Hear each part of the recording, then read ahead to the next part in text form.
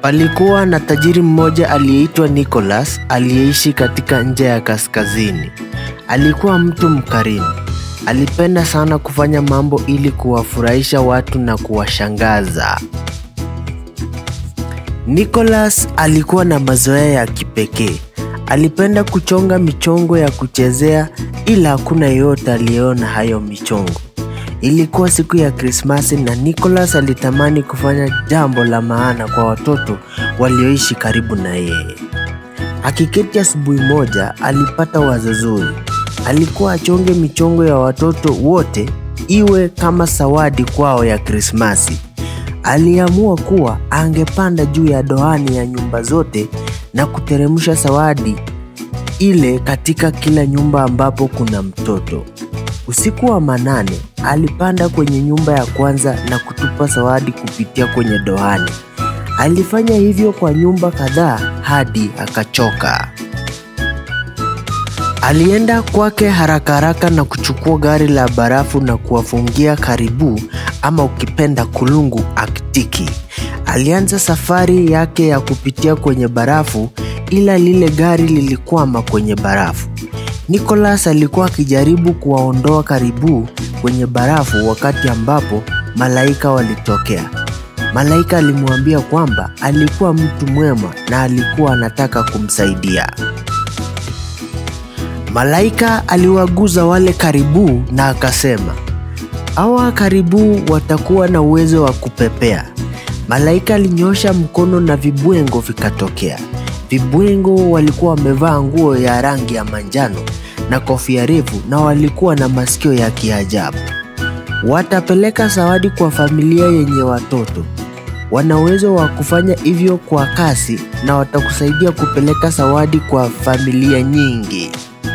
Nicholas bado alikuwa katika hali ya kushangaa ila alifurahi sana kusikia hiyo habari. Kila kibwengo kilipepea na kuchukua zawadi za Krismasi na upendo wake.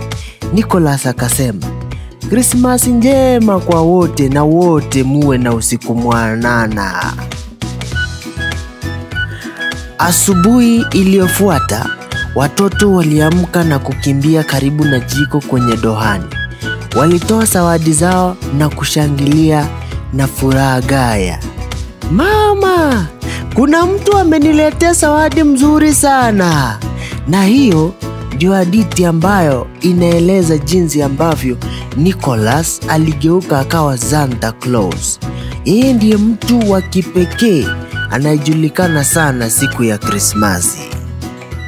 Na hadithi yetu imekuishia hapo watoto.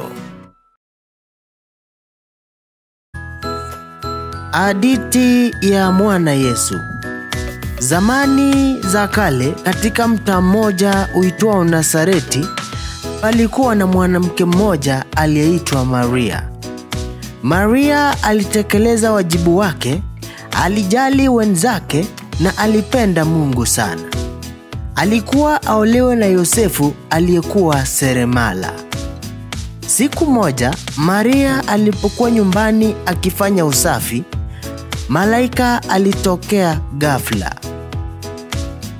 Kabla hata Maria kunena chochote, malaika alimwambia kwamba Mungu anaenda kumbariki kwani Mungu yuko naye. Maria alishangaa, alikuwa anajaribu kutokuwa mwoga, ila hakuwa amewahi kumwona malaika hapo mbeleni. Hata hivyo, Maria alikuwa mtu wa kawaida tu kama wewe na mimi. Ila je, mbona malaika huyu alimtembelea yeye? Malaika alikuwa anataka nini?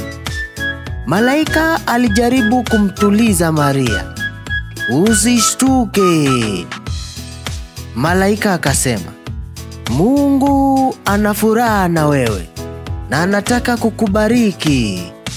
Utazaa mtoto mfulana na utamwita Yesu. Maria alichanganyikiwa.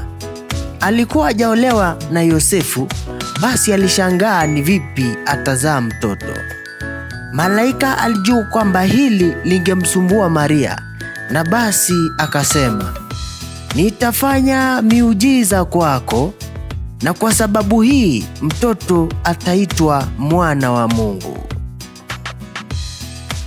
Maria hakuamini yale ambayo alikuwa anasikia na hakujua atamke lipi.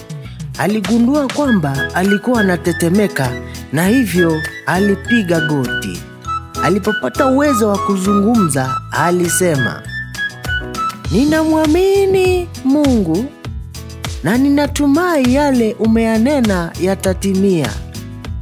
Malaika aliondoka na Maria akamsubiri Yosefu ili ampashe habari hiyo njema. Baadaye Yosefu alipata habari kwamba Maria alikuwa anaenda kuzaa mtoto.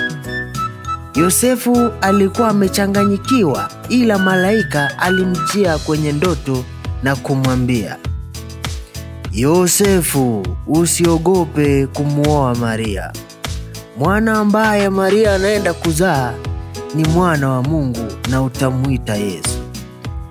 Yosefu alipoamka alikuwa anakumbuka yale ambayo malaika alimwambia. Alikuwa anaelewa fika kila kitu na hakukuwa na wasiwasi tena. Katika siku hizo ilipendekezwa kwamba kila mtu ahesabiwe katika kila sehemu ya dunia. Hivyo Yosefu akampeleka Maria kule Betlehemu ili asajiliwe. Betlehemu ulikuwa mbali na hakukuwa na magari enzi hizo. Hivyo Maria na Yosefu walikuwa wachukue muda mkubwa ili wafike Betlehemu. Yosefu alipata punda mwishowe na akampandisha Maria pekee kwa sababu punda ilikuwa na uwezo wa kumbeba mtu mmoja tu. Safari ulimchosha sana kwa sababu muda wake wa kuzaa ulikuwa umekaribia. Walipofika mtaani Betlehemu, hoteli zote zilikuwa na wateja na hakukuwa na sehemu yoyote ambapo wangekaa. Mwishowe, mtu mmoja alihisi huruma kwao na kuwaambia, niko na pahali ambapo mnaweza kukaa, si hoteli, ila ni pahali penye joto na mtakuwa salama usiku huu. Maria na Yosefu walipofika mahali pale, waliona gala ndogo ambalo lilikuwa zizi la ng'ombe. Kulikuwa na punda, ng'ombe na kuku ambao walikuwa wakilala hapo. Maria na Yosefu walishukuru Mungu kwa kupata pahali pa kupumzika. Ilikuwa na joto na palikuwa na nyasi ya kulalia. Wakati wa kumzaa mwana ukafika. Wakati ambapo Yosefu na Maria wanajitayarisha kwa ajili ya kumzaa Yesu, habari hii ilikuwa imefika kila pahali kwamba mwana wa Mungu anaenda kusaliwa. Wachungaji walipata habari na wakaja pamoja na kondoo kumwona mtoto. Wafalme walisafiri tokea nchi ya mbali wakibeba marashi, dhahabu, fedha na mablangeti ya mwana wa Mungu. Usiku huo jambo zuri ulifanyika. Maria na Yosefu walipata mwana. Huyu mwana hakuwa mwana wa kawaida, alikuwa mwana Yesu, muumbaji wa dunia, mfalme wa wafalme na atakayeokoa dunia yote. Mwana mfulana na mdogo akalala kwenye mikono ya Maria. Alimfunga na nguo kisha akamlaza kwenye hori yenye majani masafi. Wafalme na wachungaji wakitazama, Maria na Yosefu wakalala. Walifurahi sana kwa kumzaa mwana huyo kwenye familia yao. Yeah.